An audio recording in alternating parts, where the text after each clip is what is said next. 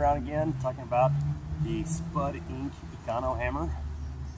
It's a mobile training device for practicing your Highland Games light and heavyweight hammer. Um, as you can see, it's made out of nylon strap and has a lot of stitching and a lot of reinforcement. This is like a nylon wear strip, so you don't wear out your nylon strap here with the weights because you take the plate, slide it over the handle, pull the strap through till you hear it clank on the weight because that ring there is what holds the weight on and it'll hold on by centrifugal force when you actually spin it. See, it doesn't fall off. And when you throw it, it stays on there because of centrifugal force. Um, this is my heavy practice hammer, and it's made out of Schedule 80 PVC, three quarter inch, which is what you're going to find on a lot of actual competition hammers. And competition hammers start out at like $120. So the Spud Inc. Econo hammer is a great practice tool because it's only $39. You can purchase it on Spud Inc.'s website, Elite FTS website, and Rogue Fitness is where this one came from. It's one of Rogue Fitness's three ships for free items. So you buy three of these, you don't pay any shipping. Or you buy two other things that come in that category, no shipping.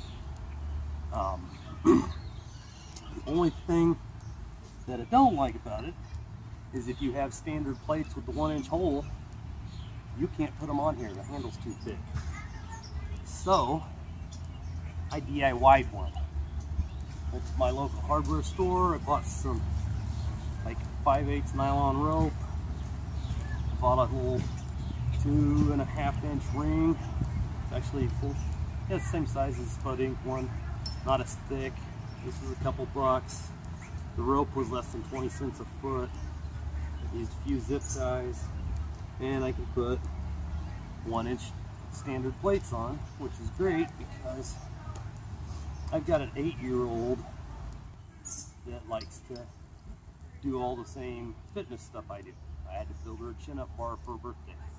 So obviously I can't load a whole lot of, can't, I can't let her practice with mine because I'd have to unload it and load it, which is not that big a deal, but you know, you don't want to. So I've got a few little plates. She can only throw like four pounds, so I can put a pound and a quarter, two and a half, load those up and she can throw. Um, the DIY model, it's, it's good enough for her. I've actually thrown it with like 16 pounds on it, held up pretty good. But it's just not the Spud Inc. one. Um, even though it's got a square handle as opposed to a round one, it's about the same thickness. So you got that going for you. Um, I like that it's loadable. I can adjust it. This one is 22 pounds. It's always going to be 22 pounds. Same if you buy a competition hammer, it will always be 16 or 22 for men. Uh, I can't remember what the women's ladies hammers are, but they're lighter, but even still, that's what they're always going to be. If you say injure your shoulder or hip or something and you finally get back to practicing, you're not going to want to throw that same weight the whole time. So say I just want to come back and get into the groove of it. Throw five, put a five pound plate on, swing it around. Two and a half pound, 10 pounds, whatever. Um, that's, that's what I like about this Inc. Econo hammer. And uh, for my final verdict on this thing, check out my article in GarageGymMagazine.com.